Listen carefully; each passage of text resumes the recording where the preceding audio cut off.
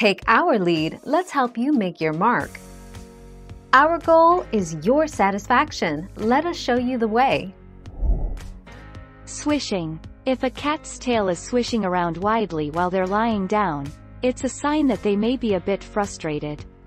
Petting them now could result in an unhappy scratch or your cat fleeing from the scene. They're not much in the mood to cuddle. Their tail thumping is simply a way for them to show it.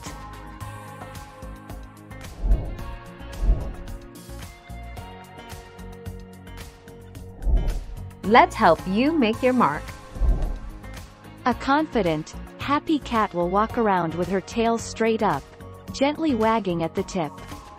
This is a playful stance that lets other cats, and you, know that your pet is open for interaction. A cat who is feeling scared may wag her tail low to the ground. Thank you for watching. Please subscribe and hit the bell notification.